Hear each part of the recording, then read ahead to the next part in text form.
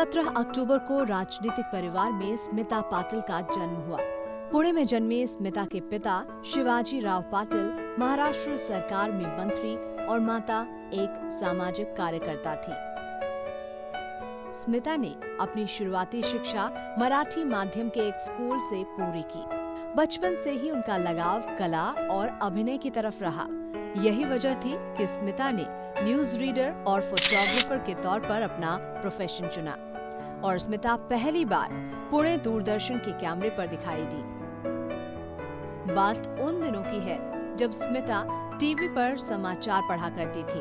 स्मिता की बड़ी आँखों और सांवली सूरत ने जाने माने निर्देशक श्याम बेनेगल का ध्यान अपनी ओर खींचा। ये वो वक्त था, जब श्याम बेनेगल अपनी फ़िल्म चरण दास चोर बनाने की तैयारी में थे। श्याम बेनेगल को स्मिता पाटिल में एक उभरता हुआ सितारा दिखाई दिया और श्याम बेनेगल ने अपनी फ़िल्म चरण दास चोर में स्मिता पाटिल को एक छोटी सी भूमिका निभाने का अवसर दिया। भारतीय सिनेमा जगत में फ़िल्म चरण दास चोर को ऐतिहासिक फ़िल्म के तौर पर याद किया जाता है। इसकी एक वजह ये रही कि इसी फ़िल्म के ज़रिए श्याम बेनेगल और स्मिता पाटिल के रूप में कलात्मक फ़िल्मों के दो दिग्गजों का सिनेमा में आना हुआ। मैंने पहली नज़र में ही समझ लिया था कि स्मिता पाटिल में गजब की स्क्रीन उपस्थिति है और जिसका उपयोग रुपहले पर्दे पर किया जा सकता है। चरण दास चोर के बाद साल 1975 में श्याम बेनेगल ने फ़िल्म निशांत में स्मिता को सह अभिनेत्री की भूमिका निभाने का मौका दिया। ये वो वक्त था जब यथार्थवादी सिनेमा अपनी पहचान बना रहा था। और स्मिता उन गिनी चुनी अदाकाराओं में से थी जो यथार्थवादी सिनेमा में अपनी अलग पहचान बनाने में सफल होती नज़र आ रही थी। निशांत में स्मिता के अभिनय को परखने के बाद श्याम बेनेगल ने 1976 में फ़िल्म मंथन के लिए स्मिता को मुख्य किरदार के तौर पर चुना। सौने कुछ नहीं बिगाड़ा पर दूसरा एक था शहर वाला। कौन? उसका बाप। बाप? ओली गाँव की सड़क है ना? हम्म। उसका कंट्राटी था। भोला की माँ उसके घर पे झाड़ू लगाती थी। उसको पेट से करके निकल गया सारा बपना। तुम्हारा बाल बच्चा है? नहीं। फ़िल्म मंथन में स्मिता पाटिल के अभिनय के नए रंग दर्शकों को देखने को मिले। तुम्हारी घरवाली रुपाई है?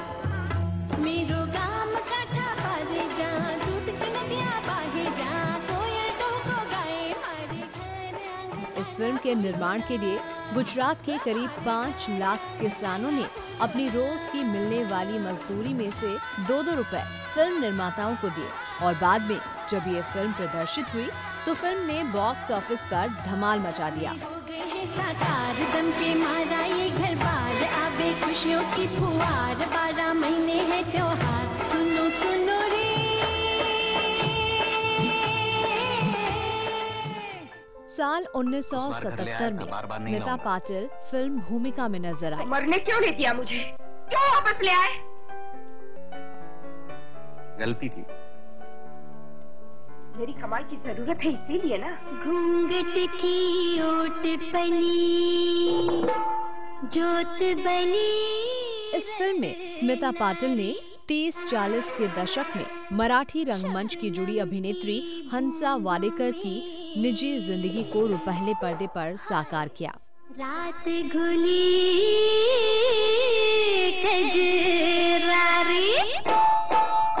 ये सब फ़िल्में श्याम बेनेगल के निर्देशन में बनी थी। ये फ़िल्में यथार्थवाद की पृष्ठभूमि पर बनी थी। स्मिता पाटिल ने इन भूमिकाओं को बखूबी निभाया। इसी फ़िल्म में स्मिता के दमदार अभिनय के लिए उन्हें राष्ट्रीय पुरस्कार से सम्मानित किया गया।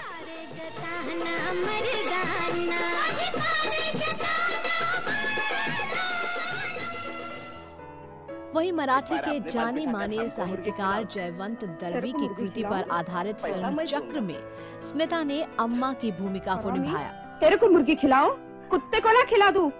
ही, जा झाड़ू लगा। साल 1980 में प्रदर्शित इस फ़िल्म में स्मिता पाटिल ने झुग्गी झोपड़ी में रहने वाली महिला के किरदार को रुपहले पर्दे पर जीवंत कर दिया। क्या बैठा यहाँ सुबह सुबह हरामी। आँख फूट जाएँगी तेरी। क्या? इसके साथ ही फ़िल्म चक्र के लिए वो दूसरी बार राष्ट्रीय पुरस्कार से सम्मानित की गई। फ़िल्मों में एक के बाद एक मिलते सम्मान ने स्मिता को मंझे हुए कलाकारों की श्रेणी में लाकर खड़ा कर दिया।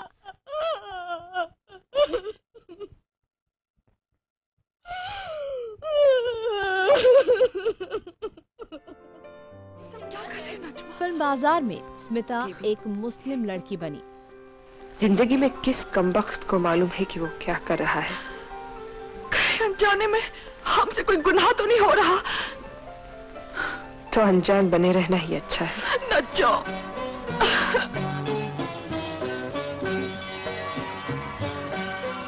एक के बाद एक यादगार फ़िल्म करने के बाद हिंदी यथार्थवादी सिनेमा में एक नया नाम स्मिता पाटिल के रूप में जुड़ा।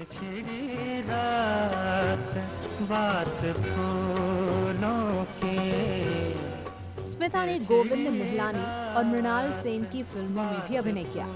वहीं हिंदी फ़िल्मों के अलावा स्मिता पाटिल, मराठी, गुजराती, तेलुगु, बांग्ला, कन्नड़ और मलयालम फ़िल्मों में भी अपनी कला का जौहर दिखाती नज़र आई।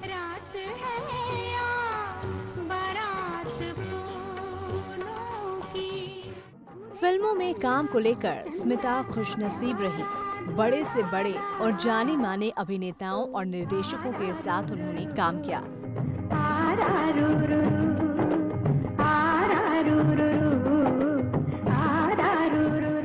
स्मिता पाटिल को महान फिल्मकार सत्यजीत रे के साथ काम करने का भी मौका मिला। मुंशी प्रेमचंद की बहुचर्चित कहानी पर बनी टेलीफिल्म सदगति आज भी याद की जाती है। मैं जानती थी। वो मेरे से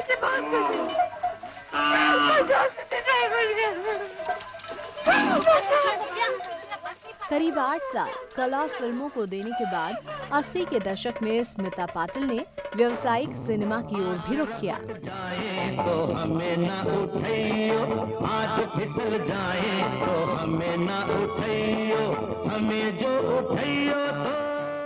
इस दौरान स्मिता को सुपरस्टार अमिताभ बच्चन के साथ नमक हलाल और शक्ति जैसी फ़िल्मों में काम करने का मौका मिला। आज रपट जाए तो हमें ना उठाइयो इन फ़िल्मों की कामयाबी ने उन लोगों का मुँह बंद कर दिया, जो स्मिता को सिर्फ़ समानांतर फ़िल्मों का हिस्सा ही मानते थे।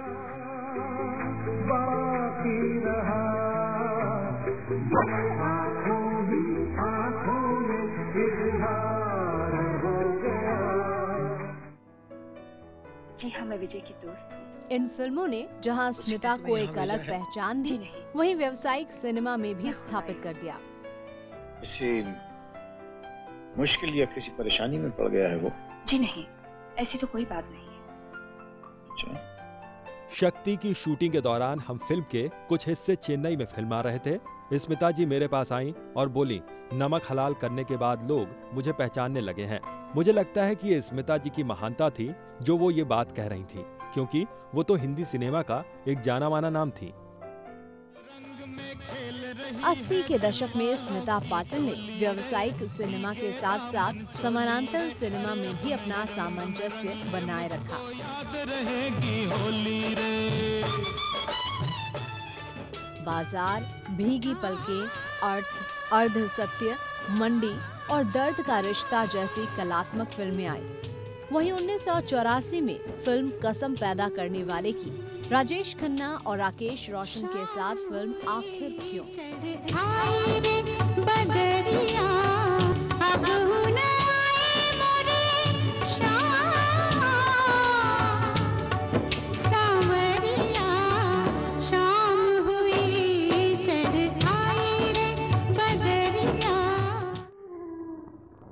शायद अभी तक जानती नहीं होगी धर्मेंद्र के साथ गुलामी जैसी व्यवसायिक फ़िल्मों में भी काम किया।